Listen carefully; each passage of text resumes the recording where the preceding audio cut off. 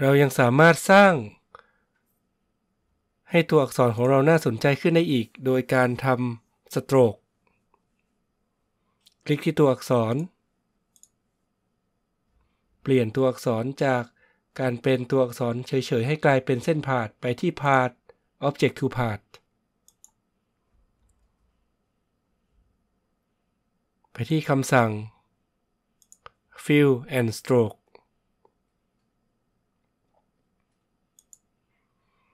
ปลี่ยน Stroke Style และลองเลือก สีของเส้นครับ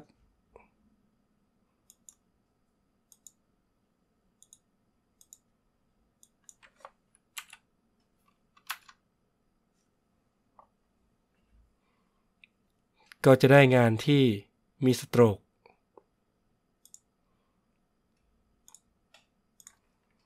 หรือเราต้องการจะเพิ่มเอฟเฟกให้กับงานอีก อาจจะใช้ลักษณะของเงาเข้ามาช่วย โดยการเปลี่ยนทั้งสโตรก เส้นสโตรก แล้วก็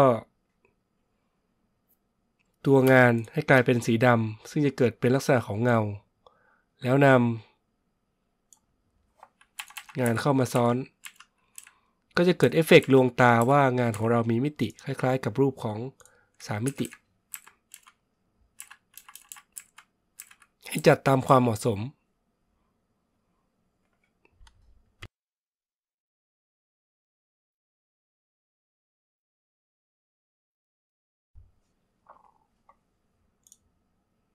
เช่นเดียวกันกับตัวอักษรตัวนี้ครับ เราสามารถจัดให้ดูเป็น 3 มิติได้ โดยการขยับ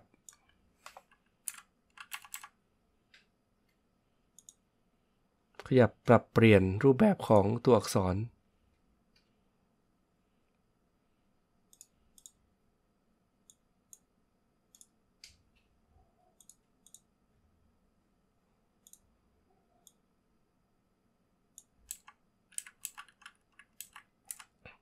ให้มีรูปแบบที่น่าสนใจขึ้น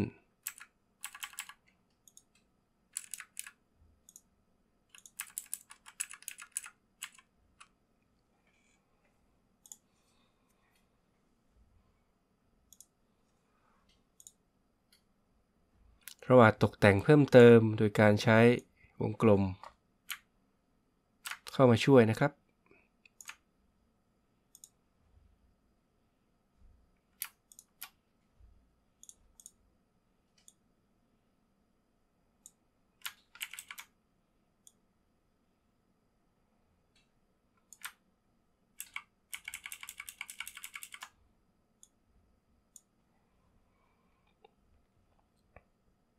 ตรงนี้เราจะจัดระเบียบของวงกลมโดยการใช้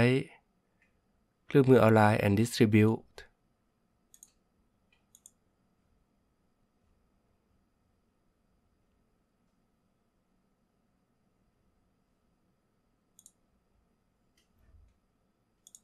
แล้วก็ทำให้เอียงครับ transform เหมือนเดิมครับ กด apply จะเห็นว่าเราก็จะได้ วงกลมที่เอียง 15 องศา เราก็ดูตามความเหมาะสม เพื่อให้เกิดเอฟเฟกที่น่าสนใจ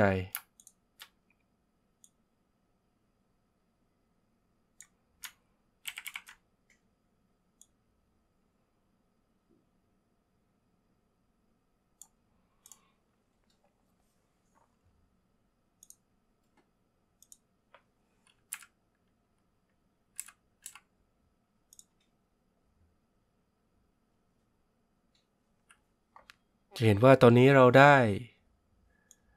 รูปร่างของการ์ดวันเกิดนะครับ วันเกิดซึ่งวันเกิดจะเป็นวันเกิดไปไม่ได้ถ้ายังไม่มีเทียน เราก็จะสร้างเปลวเทียนขึ้นมา สร้างโดยการใช้ Pen Tool นะครับ เป็นลักษณะของเปลวเทียนแบบนี้ เพิ่มสีครับ ปรับขนาดให้สวยงาม Copy มาอีกหนึ่งชิ้นนะครับ แล้วก็ใส่สีขาวลงไป เพื่อทำเป็นเปลวเทียนด้านใน จับขยับให้สวยงาม สุดท้ายงานคงจะไม่สมบูรณ์ถ้าไม่มีการอวยพร ในการอวยพรเราก็จะใช้วิธีการ ทำเป็นคำอวยพรที่ปรากฏอยู่ในวงกลมนะครับ เดี๋ยวขอปรับเส้นวงกลม นิดหนึ่งนะครับ ก็สามารถปรับขนาดของเส้นได้ ให้กะขนาดวงกลมให้พอดีกับเปลวเทียน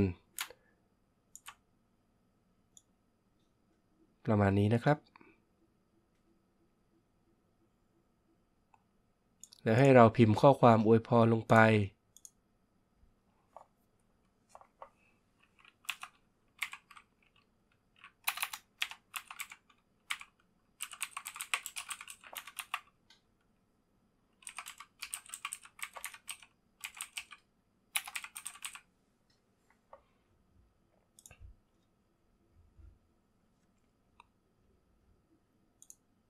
เป็นข้อความขอให้สุขสมหวังทุกประการนะครับ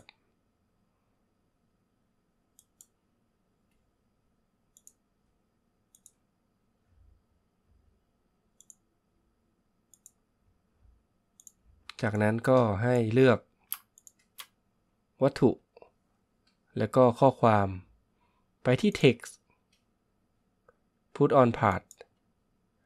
จะเห็นว่าตัวหนังสือติดเข้ามากับ ตัวของวัตถุวงกลมแล้วนะครับ ให้เราหมุนนะครับง่ายๆ หมุนให้เข้าที่ครับ หมุนให้สวยงาม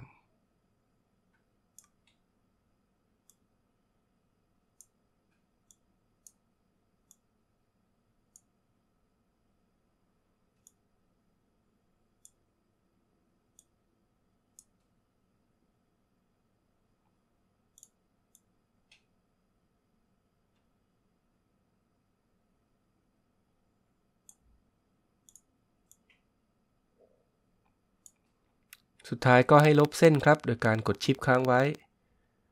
แล้วก็คลิกไปที่ no stroke คือไม่มีเส้น ก็จะเส้นก็จะหายไป ตรงนี้เราสามารถปรับแต่งได้อีกเล็กน้อยนะครับ ผมจะเพิ่มความหนาเข้าไปนิดนึง แล้วก็หมุนอีกนิดนึง เปลี่ยนสีครับ